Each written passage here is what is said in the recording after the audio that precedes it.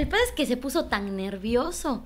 Sí. Tan nervioso de que ese día iba a subirse a hacer su open mic, que es micrófono abierto, para los que no saben inglés. Simón.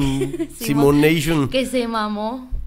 O sea, se puso, o sea, no se mamó, sino que se puso nervioso y como que empezó a tomar así, dijo, pues para este subirme Sí, así sí, pa'l como- nervio. Ajá, para el nervio. Y acabó pedo. Y se le medio pasaron las copillas y ya fue. Se subió, lo hizo chido, pero sí se veía que estaba pedo y le dije, no mames, güey, la cagaste, no te van a volver a hablar. Y al otro día estaba así que, no mames, la cagué. No hizo tanta mamada, o sea, no hizo mamadas, ¿no? Pero sí, Sí. se veía así.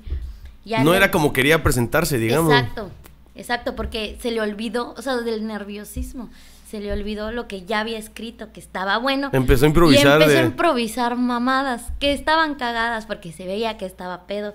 Y desde esa vez que se subió pedo, dijo, no mames, ya pensé mi nombre. A ver cuál, estando pedo, estando pedo. Sí, sí, sí. Se supone que está pedo. Pues ese es su personaje, de que está pedo. Qué a veces loco. se lo toma muy en serio, a veces no. O sea, a veces sí se mama, a veces no. No se mama, pero sí se echa ahí unas chelillas, ¿no? Y es que es mi personaje y a veces las personas le preguntan, güey, ¿así eres tú o es tu personaje? Así soy yo. no puede ser, no sé.